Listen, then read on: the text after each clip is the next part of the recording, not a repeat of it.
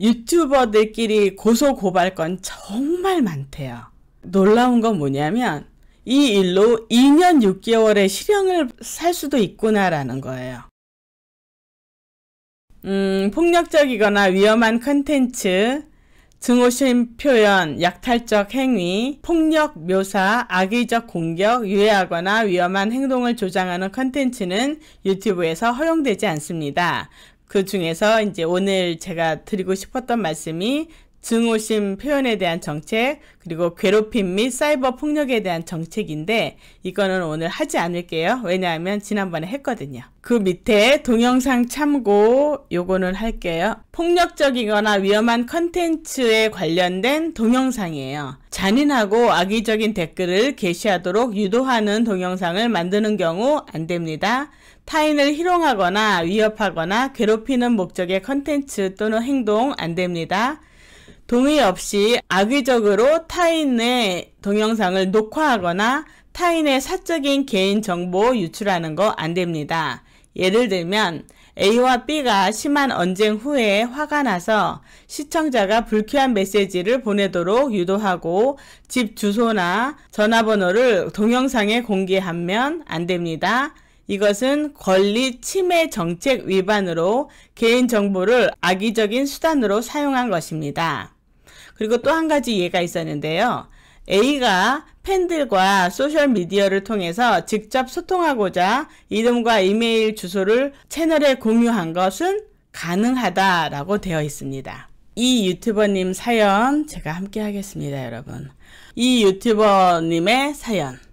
제가 A씨를 고소하게 된 것은 온라인 상에서 모든 사람들이 함께 공감할 정도로 심각하게 저를 공격했기 때문입니다.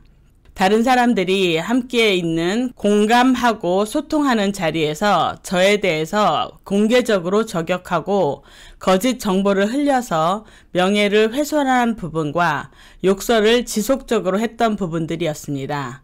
그 일로 인해서 저는 일상생활이 어려울 정도로 정신적 스트레스를 받았습니다. 한두 번이 아니고 반복적으로 했기 때문에 그분이 라이브를 할 때마다 풀 영상으로 녹화하면서 듣고 있었고요. 그것을 모두 파일로 처리해서 증거 자료로 제출했습니다. 설마 하실 수도 있겠으나 반복적이고 악의적으로 행동하는 것은 충분히 증거가 된다고 경찰서에서 다 확인했던 사항입니다. 그래서 나중에 합의는 해드리지 않았고 법대로 처리해달라고 했습니다. 그분이 일이 커지기 전에 미리 정중히 사과만 했었더라도 그렇게까지 일이 커지지는 않았을 것입니다. 또한 제가 더 이상 참을 수 없었던 일은 제 부모님께도 욕을 마구 했습니다. 네 엄마가 성폭행할 거, 네 아빠가 칼로 찌를 거, 네가 태어나지 말았으면 좋았을 텐데 등등 이러한 욕도 서슴지 않고 했습니다. 더군다나 제 실방에서 저의 지인들과 가족들도 있었는데 말이에요. 그래서 결국 그는 사이버 폭력으로 2년 6개월의 실형을 받고 현재 감옥에 있습니다. 사람들이 사이버 폭력이 얼마나 무서운지 경각심이 있기를 바랍니다. 그리고 비록 사이버 상으로 만나는 사람들이지만 서로 예의를 지켰으면 좋겠습니다. 라는 사연입니다. 애고 반복적이고 악의적이면 그러면 안 되지. 헉 하셨고 그쵸? 네. 아이고 세상에 저런 욕을. 그쵸 여러분? 그쵸? 가족 욕은 좀 심하죠? 네. 당연히 처벌받았다야지요. 꼭 반성하고 나오세요. 하셨네요. 충격적이네요. 하셨고 네. 아 진짜 저런 걸 쓰는 사람들은 무슨 생각인지 하셨고 여러분, 제가 오늘 이 말씀을 드리고 싶은 얘기가 뭐냐면 첫 번째, 우리 실방송에서의 예의를 좀 갖췄으면 좋겠다라는 생각이 들어요. 우리 실시간 방송할 때 정말 내가 라디오 진행자다라고 생각을 하시면서 하면 어떨까? 몇백만 원씩 받고 하는 그런 라디오 진행자라면 얼마나 긴장을 하겠어요. 그쵸? 그래서 말을 너무 이렇게 함부로 하시거나 이러시면 정말 힘들고요. 그리고 또 뭐냐면 설사 그 사람이 나한테 상처를 줬다 하더라도 같이 응대를 하니까 또 더 큰 싸움이 일어나는 거잖아요. 같이 이렇게 안 했으면 정말 좋겠어요. 제가 놀라운 건 뭐냐면 이 일로 2년 6개월의 실형을 살 수도 있구나라는 거예요. 서로 상처 안 주고 상처 안 받았으면 좋겠고 서로 미워하지 않았으면 좋겠어요. 그리고 실방에서 남 저격하는 일 절대 절대 절대 없었으면 좋겠고요. 만약에 내가 속상한 일이 있고 내가 만약에 그 사람과 카톡이든 뭐 전화든 안다면 그러면 직접 풀었으면 좋겠어요. 서로 힘들잖아요, 사실은. 제가 여러 번 말씀드리지만 전 저는 평화주의자예요. 좀 마음이 많이 아프고요. 네. 그래서 여러분, 우리가 사이버 폭력이 생기면 사이버 수사대가 출동을 해요. 그래서 더 철두철미하게 조사를 하거든요. 우리 아까 얼핏 이제 부정적인 댓글, 악플러 이 얘기 했었잖아요. 그런 사람들도 다 마찬가지잖아요. 너무 잘 아는데도 더 무서워질 수도 있네요 하셨고요. 네. 그래서 유튜버들끼리 고소 고발건 정말 많대요.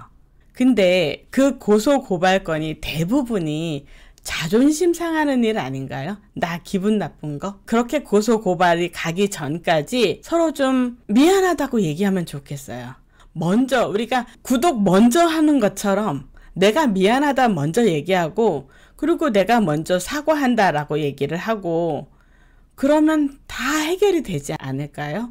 샤론님 안 당해봐서 모릅니다 라고 얘기하실 수도 있는데 저도 당해봤어요. 네. 근데 그냥 넘어가는 거예요. 지금도 우리 주변에 여러분들도 아실 거예요. 그쵸? 너무나 많은 분들이 서로 상처가 되고 상처를 받고 그러고 계시거든요.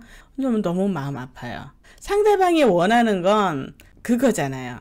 내 마음 풀어주기 원하는 거. 그거 가서 먼저 했으면 참 좋겠습니다. 친하다고 개인사는 안 하는 게 나아요. 사이가 나빠지면 그게 다 약점이 되는 거예요. 하셨어요.